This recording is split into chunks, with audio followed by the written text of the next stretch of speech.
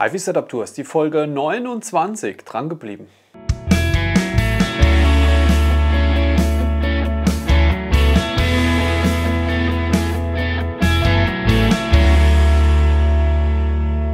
Ja, herzlich willkommen. Schön, dass ihr wieder da seid zur Folge 29 unserer HiFi Setup Tours und ich habe schon wieder richtig Lust drauf und wir beginnen auch direkt mit dem ersten Setup und das erste Setup für heute kommt von dem Michael aus Oberfranken. Erstmal danke Michael, du hast echt mega viele Fotos geschickt und auf den ersten Blick muss ich sagen, äh, ja direkt schon mal wow. Also mich äh, äh, spricht es an, ich sehe, ich denke mir direkt, wow, da gibt es Spannendes zu entdecken, nichts von der Stange, so wie es aussieht.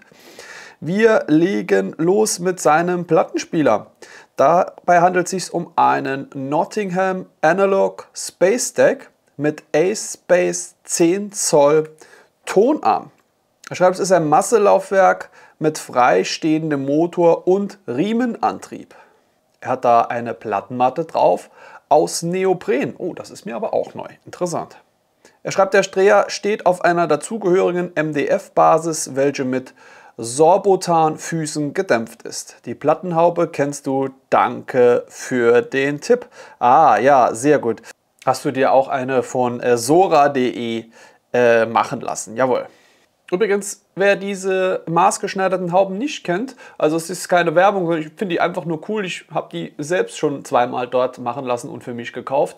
Ich verlinke euch mal hier ein Video, da habe ich schon mal äh, das vorgestellt.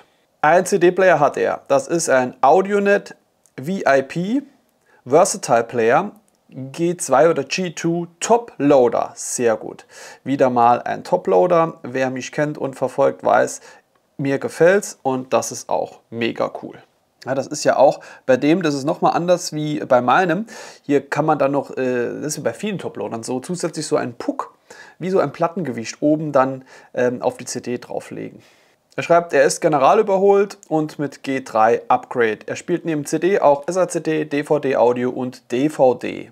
Sein Phono-Verstärker, ein Audionet PAM Phono Amplifier der ersten Generation. Ein MM und MC Vorverstärker. Er schreibt, er nutzt ihn mit einem MM-System, das Transrotor Ucello Referenz, welches in Zusammenarbeit mit Goldring entstanden ist. Aha. Auch er wurde wie der Player vom autorisierten Audionet-Partner General überholt und auf neuesten Stand gebracht. Also Audionet ähm, scheint er irgendwie Fan zu sein. Ähm, passt. Ich glaube, haben wir auch ähm, bisher noch nicht dabei gehabt oder wenn relativ selten. Der Verstärker, das ist ein Octave oder Octave V40 SE Röhrenvollverstärker.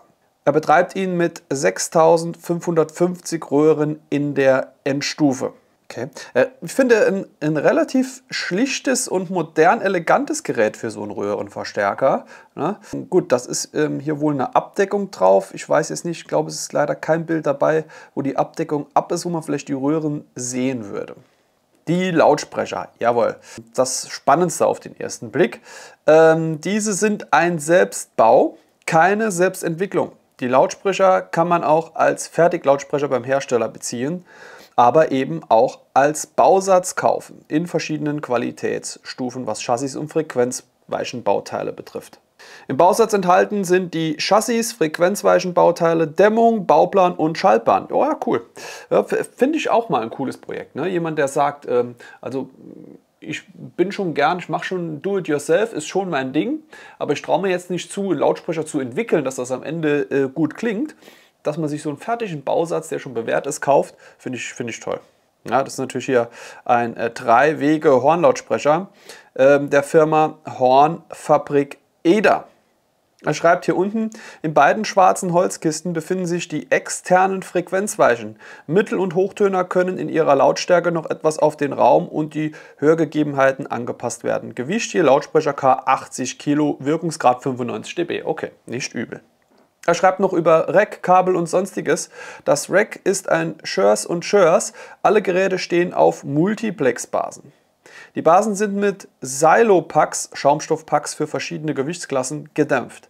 Die Lautsprecher stehen auf ViaBlue UFUs. Stromkabel sind selbst konfektionierte, doppelt geschirmte ViaBlue X25 Silver. Cinch, Kinch oder Synch-Kabel. Ihr wisst ja, die einen sagen so, die anderen sagen so. Richtig ist wahrscheinlich Cinch. Hört sich aber, finde ich, irgendwie komisch an, oder? Die sind von PureWire. Netzleiste ist eine HMS Energia oder Energia MK2. Lautsprecherkabel sind QED XT25 mit Hohlbananas, selbst konfektioniert. Er schreibt auch noch kurz was zu seinem Raum. Der Raum ist nur leicht mit Basotec behandelt. Ich habe jedoch auch wenig bis keine Probleme mit Schallreflexion, was wohl hauptsächlich im Abstrahlverhalten der Lautsprecher liegt. Okay, ja, sehr spannend, Michael.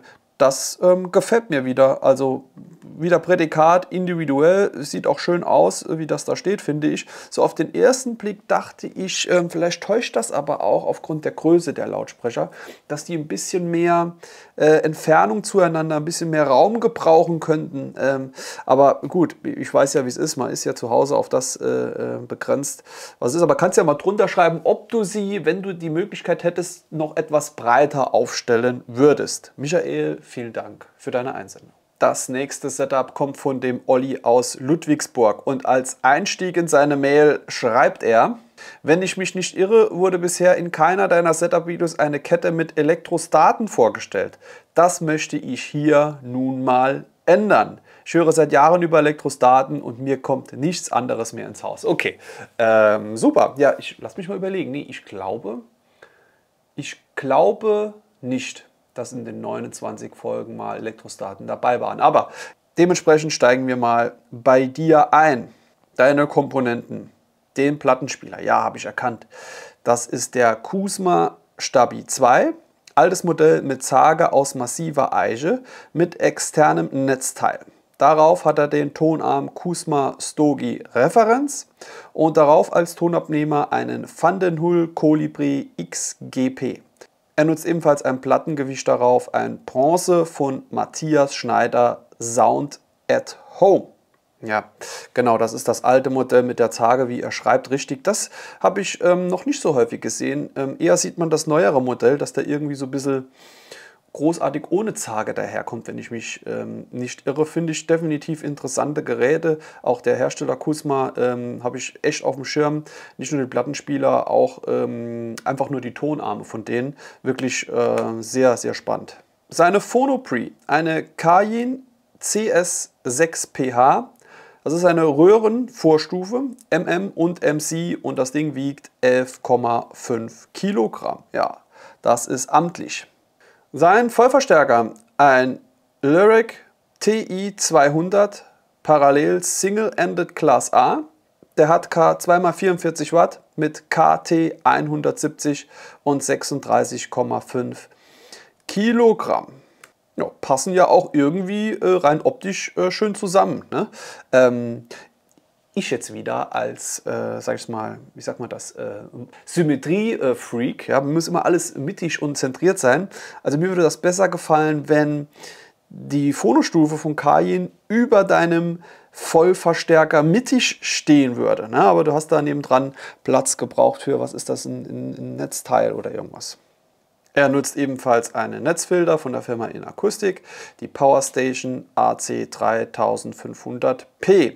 Wir kommen zu seinen Lautsprechern. Wie im Einstieg schon genannt, handelt es sich um Elektrostaten. Das sind Martin Logan Ethos oder Martin Logan Ethos. Elektrostatischer Hybridlautsprecher mit aktivem Bass 200 Watt am Kanal und das Ganze nennt sich Cebranophonia. Ja, also Thema Elektrostaten, da kenne ich mich wirklich nicht aus und ich weiß auch noch nicht, ob ich mich damit zumindest optisch ähm, anfreunden kann. Das äh, ist natürlich wie immer Geschmackssache.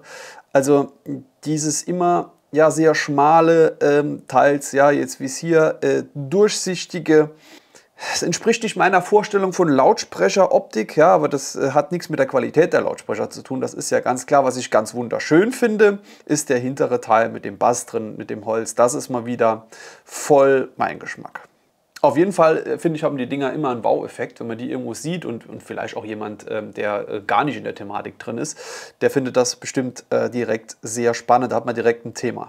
Lautsprecherkabel nutzt er vom ViaBlue SC6 NF-Kabel, Tara Labs Quantum Reference, Netzkabel, Tara Labs AC Affinity.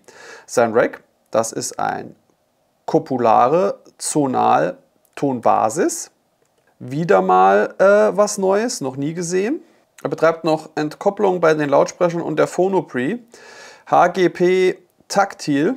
Kohlefaser-Sandwichplatten mit innenliegender Wabenstruktur. Er hat noch eine Plattenwaschmaschine, die Clear Audio Smart Matrix Silent. Er ergänzt noch, der Kusma ist sein Arbeitstier und treuer Begleiter seit 30 Jahren. Oh, cool. In Verbindung mit dem Stogie Referenztonarm eine fantastische Kombination. Diesen Arm gibt es seit 1986 und er gehört immer noch zur Weltklasse. Ja, und zum Tonabnehmer sagt er noch, er hat viele Abtaster in den letzten 30 Jahren ausprobiert. Das Van der Hoel Colibri ist aber mein persönliches Daumensystem, extrem schnell, druckvoll, spielfreudig und musikalisch. Mehr geht nicht für mich. Naja, also das ähm, kann man wohl äh, dann mit Leichtigkeit behaupten, dass du beim Plattenspieler und inzwischen dann auch beim Tonabnehmer angekommen bist, bist äh, wenn du dem so lange treu bist. Finde ich cool, Olli. Vielen Dank für deine Einsendung. Und beim dritten Setup für heute geht es ins heimische Wohnzimmer von dem Lars. Und auch Lars hat äh, sehr schön viele Fotos geschickt. Äh, vielen Dank vorab dafür. Wir schauen mal als erstes rein. Ja, also ich finde, passt erstmal alles gut zusammen. Ähm, von der Wand übers Möbel, Fernseher und die Lautsprecher, Rack, alles irgendwie ähm, farblich äh, passt das hier rein. Es sieht irgendwie, wirkt nichts als Fremdkörper. Seine Geräte, der Verstärker, ist ein Vollverstärker Audiomat Opera Referenz 12. Optisch ein echter Bolide. Sein CD-Player, ein Gold Note Stibbert 5, wenn ich das richtig lese. Cooles Format, ja, so, so, so MIDI-mäßig, gefällt mir. Sein Phoneverstärker Croft Micro RIAA auf Stillpoints. Oh ja, sehr schlichte Phonostufe, so Stealth-Optik. Ne? Ähm, ja, ähm, Stillpoints. Hm, Thema hatten wir schon mal. Also das muss ich wirklich mal testen. Also über diese, ich sag's jetzt mal, Gerätefüße, äh, Isolatoren da, Geräte, Basis, wie man auch sagen will, die, die sind wirklich spannend und da habe ich Leute schon sagen hören, also das macht so einen mega Unterschied. Äh, die kosten dementsprechend, müsst ihr euch mal anschauen. Ähm, auf jeden Fall spannendes Thema. Sein Plattenspieler, Eigenbau inklusive Tonarm. Aha. Motor und Motorsteuerung von Musical Live. Durchgehende Tonarmverkabelung von Heiko Wingender. Das hätte ich jetzt nicht gedacht. Wow, da hast du dir aber äh, ein massives Teil äh, zusammengeschneidert. Darauf läuft ein Gold Note Valore und die Lautsprecher, die wir sehen, das sind die Audiophil Cantata 2. Auch neu und zum allerersten Mal dabei und ich meine mir unbekannt. Rein optisch hätte ich gedacht, wir hätten die schon mal dabei gehabt, ähm, aber vom Namen her sagt es mir jetzt wirklich gar nichts. Verkabelung, Signalkabel, auch Audiophil Legato, Lautsprecherkabel WSS Platinline. Stromversorgung ist bei ihm Eigenbau, sternförmige Verkabelung. Okay, wirklich äh, mal wieder spannendes Setup, keine Frage. Ähm, ich sehe hier auch gerade nochmal den, den Plattenspieler. Also es ist echt Wahnsinn, auch in der Kombination mit dem Gold da dran an dem Tonarm. Und ich nehme an, rechts hier äh, auf dieser Kiste, das ist der Antrieb. Das ist das Einzige, was mir jetzt optisch hier ähm, nicht zusagen würde. Äh, auf dieser Holzkiste der, der Antrieb da so. Natürlich gut, dass der separat ist, aber ich weiß nicht, ich finde... Ähm, vielleicht so ein schwarzer Ständer oder, oder irgendwas. Naja, äh, keine Ahnung. Auf jeden Fall ähm, wieder sehr, sehr spannend und äh, für mich wieder Neues zu entdecken. Ergänzt übrigens noch bei dem Plattenspieler, die Messingteile, die ich jetzt als Gold beschrieben habe, werden im Winter noch zum Verchromen gegeben, da mir schon einige dazu geraten haben und ich auch der Ansicht bin, dass das so stimmiger aussieht. Ja, ich weiß nicht. Ja, stimmiger vielleicht, aber ich finde gerade das, äh, das Gold-Messingfarbene äh, richtig ähm, hat was. Übrigens, dieses HiFi-Rack ähm, ist von Hersteller Solid Tech. Habe ich schon mal gesehen. Ja. Ich danke dir, Lars. Das vierte Setup von heute kommt von dem Christoph und auf den ersten Blick schauen wir mal. Hier wird es, äh, ich nenne es mal clean. Ja? Wir beginnen mit seinem äh, Verstärker oder seinen, ja, wie er selbst schreibt, eierlegende Wollmilchsau Zentrale. Das ist ein AVM Evolution CS 5.2 BT. Das ist ein ja, All-in-One-Gerät mit äh, Streaming, mit CD-Player, mit Vollverstärker, mit allem drum und dran. Ja, warum nicht? Der AVM erhält seinen Saft über ein AudioQuest NAQY3 Netzkabel und gesteuert wird er über die AVM RC3 Fernbedienung. Er schreibt schönes Stück Alu, was ich gerne auf meinem Wohnzimmertisch liegen habe. Okay, auch seht ihr mal, auch eine Fernbedienung kann Spaß machen. Ähm, oder über die AVM RCS App vom Handy aus, die wirklich gut funktioniert. Die Lautsprecher, die daran angeschlossen sind, ja, bekannte, die Canton Vento 896.2 DC. Er schreibt, die Lautsprecher sind über B-Wiring an den AVM angeschlossen. Lautsprecherkabel, zweimal AudioQuest Robin Hood Zero und zweimal AudioQuest Robin Hood Bass. Er schreibt, das war's, keep it simple. Und er schreibt noch, ähm, die größten Aha-Effekte in den letzten Jahren wurden beim Ausprobieren verschiedener Lautsprecherkabel gesammelt. Oh, oh, gesammelt. Ey, ey, ey, jetzt wird's wieder, ne? Äh, Achtung, die, die, die Mistgabel, sie kommen.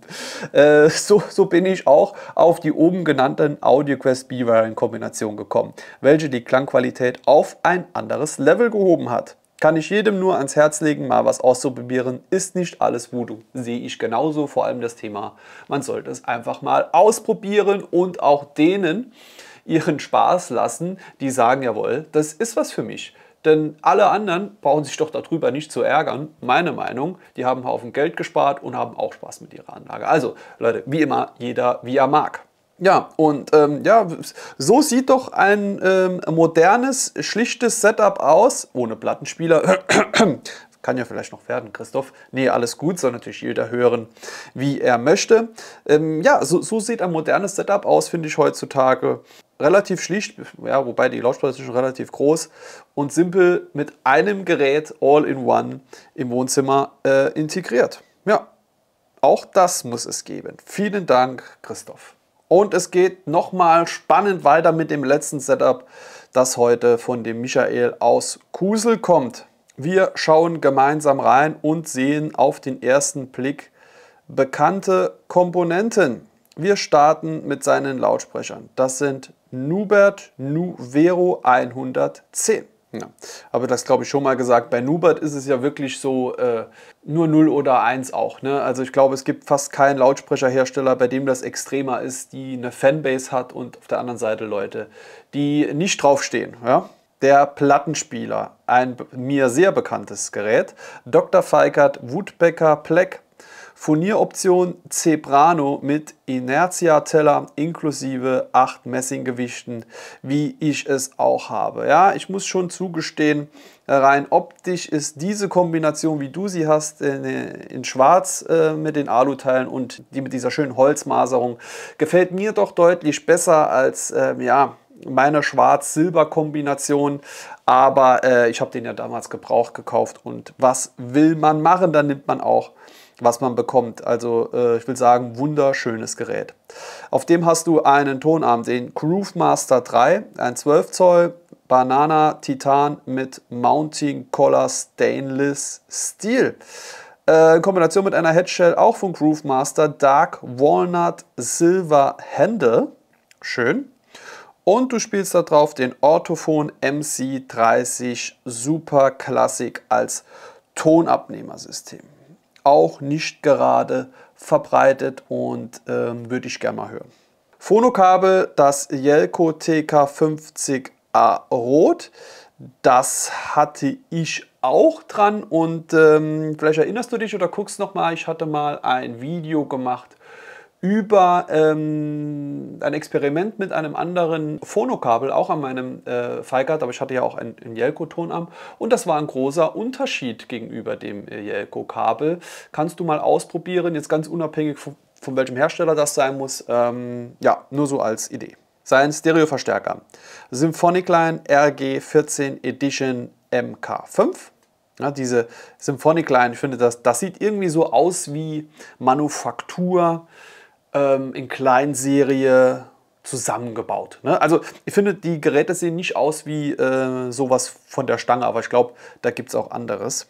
Als Vorverstärker, ja, Dr. Feigert Analog Vero. Den kenne ich und finde ich auch mega, mega spannend. Äh, ich durfte den ähm, damals bei dem äh, Sascha Vinylcheck schon mal äh, anschauen und auch hören. Das ist wirklich ähm, ein mega äh, tolles Gerät von Feigert, hier in Kombination mit dem Plattenspieler. Auch äh, mehr als äh, logisch. Auch der CD-Player ist für mich ein sehr bekanntes Gerät. Mein im Wohnzimmer befindlicher ähm, CD-Player Rega Apollo R Toploader, einfach nach wie vor cool. Und noch einen äh, Sony CDP 561 hat er im Einsatz. Auch eine Plattenwaschmaschine hat er vom Project Vinyl Cleaner VC S2 Alu. Das ist dementsprechend die gleiche, die ich auch habe.